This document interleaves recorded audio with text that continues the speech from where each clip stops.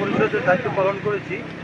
আপনারা জানেন, আমি অত্যন্ত সততার ভিত্তিতে, স্বচ্ছতার ভিত্তিতে, জবাবদিহিতার ভিত্তিতে আমি উপজেলা পরিষদ পরিচালনা করছি। সাধারণ মানুষ দিয়ে আমার সাথে কথা বলতে পারছে।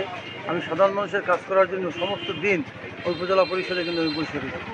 সে কারণে আমার ভিতরে একটি আত্মবিশ্বাস আজকে জন্ম নিয়েছে যে সাধারণ মানুষ আমাকে ফাঁকি দিতে পারে না। সাধারণ মানুষ পত্রকাটা সাধারণ মানুষের যে স্বতঃস্ফূর্তা তাতে আগামী উনত্রিশ তারিখ তারা ভোট কেন্দ্রে গিয়ে ইনশাল্লাহ আমাকে বিপুল ভোটের ব্যবধানে আমাকে জয়যুক্ত করবে এটা নিশ্চয় একশো ভাগ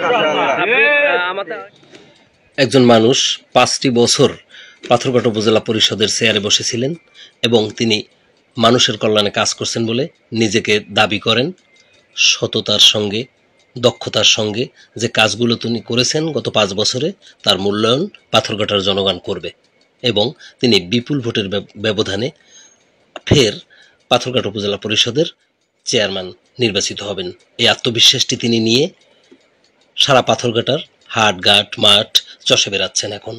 চাচ্ছেন নিজের মুখেই ভোট এবং নিজেকেই তিনি বলছেন যে আমি কাউকে ঠকাইনি, কারও সাথে টাউটরি করিনি এবং কাউকে মিথ্যে প্রতিশ্রুতি দেইনি, কারও কাছ থেকে চাকরি প্রলোভন দেখিয়ে টাকা নেইনি, কারও যে সরকারি অনুদান সেটি আমি খেয়ে ফেলেনি।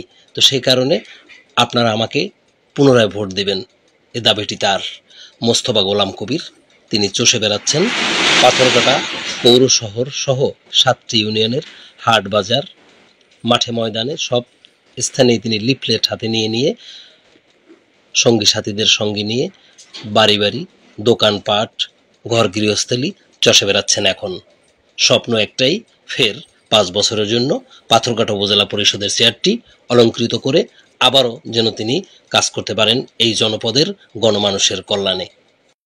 অমল তালুকদার, বাংলা বাউন্ন নিউজ, পাথরঘাটা, বরগুনা।